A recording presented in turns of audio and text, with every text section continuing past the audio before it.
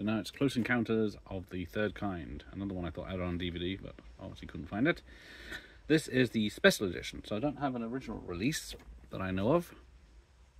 Doesn't actually say what's special about this.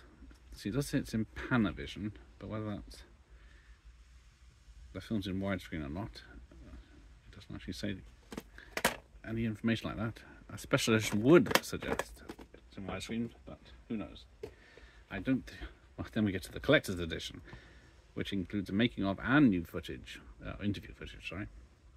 So this is a Cinema Club release. So this is a re-release in 1999. So yeah, is there a date on that one?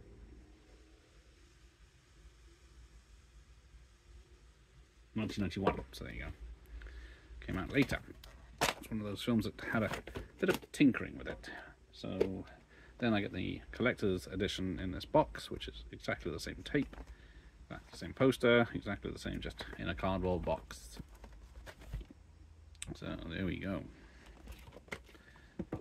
Shame I don't have any discs, but there we go. Nice watching. Here, end of the lesson.